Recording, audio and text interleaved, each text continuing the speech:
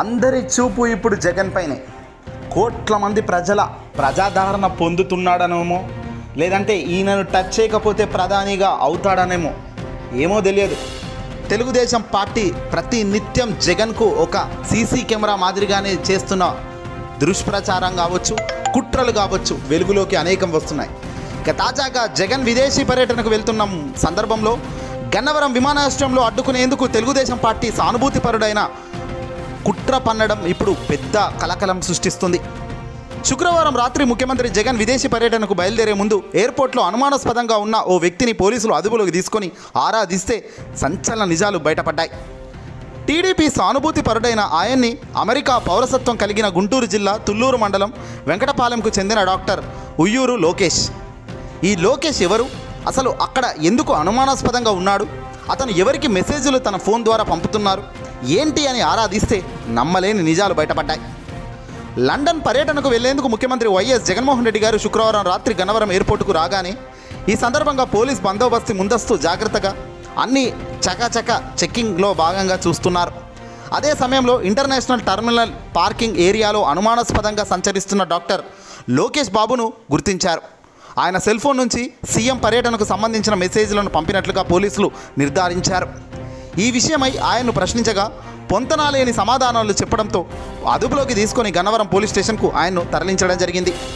విదేశాలకు వెళ్తున్న సీఎంను విమానాశ్రయంలో అడ్డుకునేందుకు అతను వచ్చినట్లుగా పోలీసులు విచారణలో బయటపడింది. ఇటీవల ఎల్లో మీడియాకు చెందిన పలు ఛానల్లో చర్చల్లో భాగంగా ఈ లోకేష్ కూర్చొని జగన్ లండన్ పర్యటనపై వివాదాస్పద వ్యాఖ్యలు కూడా చేశారు.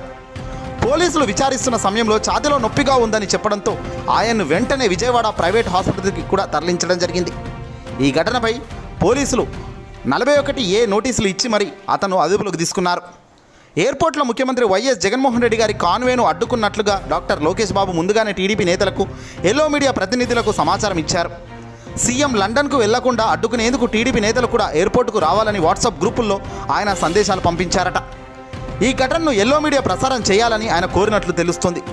టీడీపీ సానుభూతి పరుడైన లోకేష్ ఎన్నికలకు ముందు సా స్వదేశానికి వచ్చినట్లుగా తెలిసింది. నిత్యం సోషల్ మీడియా ఎల్లో మీడియా వేదికగా ముఖ్యమంత్రి జగన్పై విషం చిమ్ముతున్న ఈయన అసలు భాగోతం ఇప్పుడు బట్ట బయలైంది.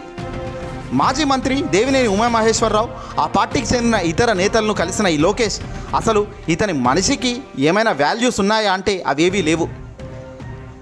లండన్లో ఉంటాను లండన్ సిటిజన్షిప్ ఉంది అని చెప్తున్న ఈయనకు ఇటీవల లైసెన్స్ కూడా సస్పెండ్ అయింది అమెరికాలో మాల్ ప్రాక్టిక్స్ వల్ల. దీనికి తగ్గ ఆధారం ఇప్పుడు మీకు డిస్ప్లేలో చూపిస్తాం చూడండి. Lokesh Babu Uyyuru MD Virginia board of medicine court of appeal Virginia. ఇది కోర్టు కాపీ. ఇతని లైసెన్స్ మెడికల్ లైసెన్స్ను రద్దు చేశారు. ఎందుకంటే ఈయన మాల్ ప్రాక్టీస్ అంటే తప్పుడు తప్పుడు విధంగా ఆయన చికిత్సలు చేస్తున్నాడు. ఆ- అక్రమంగా డబ్బులు దొబ్బే కార్యక్రమాలు చేస్తున్నాడు కాబట్టి అతని మెడికల్ లైసెన్స్ రద్దు చేస్తున్నాము అంటూ ఇక్కడ మీరు చూసారు ఇప్పుడు ప్రూఫ్. ఇక ఇల్లు కూడా మార్టిగేజ్లో ఉన్న లోను ఇల్లు కట్టక ఈఎంఐలు కట్టక ఆ ఇల్లు కూడా జప్తు చేసుకున్నట్టుగా ఇదిగో అమెరికన్కి సంబంధించిన జడ్జి కాపీ ఇది. ఈ వెబ్సైట్ మొత్తం కూడా ఈ జడ్జ్ కాపీ ఉంది మీరు ఇక్కడ చూసుకోవచ్చు. ఇమేజ్ రూపంలో మీకు స్క్రీన్ షాట్స్ రూపంలో మేము చూపిస్తున్నాం ఇదంతా. ఇంకా మరొకటి.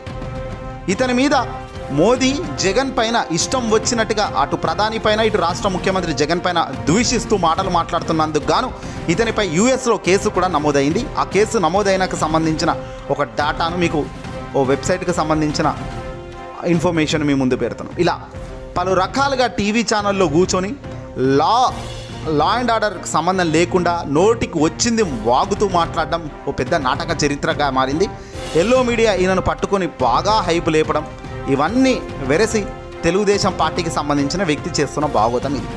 ఇది జగన్ను ఏదో చేయాలి జగన్పై ఏదన్నా తప్పుడు అడ్డుకొని దాన్ని హైవే హైలైట్గా దాంతో లబ్ధి పొందాలి అని చూస్తున్న వ్యక్తులు చేస్తున్న అరాచకాలు ఇవి. చెప్పండి మిత్రులారా ఇంత దారుణమైన వ్యక్తులను ఏమనాలి? ఇంత దారుణమైన వ్యక్తులు మళ్ళీ గెలిస్తే మన పరిస్థితి ఏంటి అనేది? దేవుడి దయతో మళ్ళీ గెలిచే పరిస్థితి కనిపించడం లేదు. గెలవద్దు గెలవరు కూడా. ఈ వీడియోని అసలు లైక్ షేర్ చేయండి.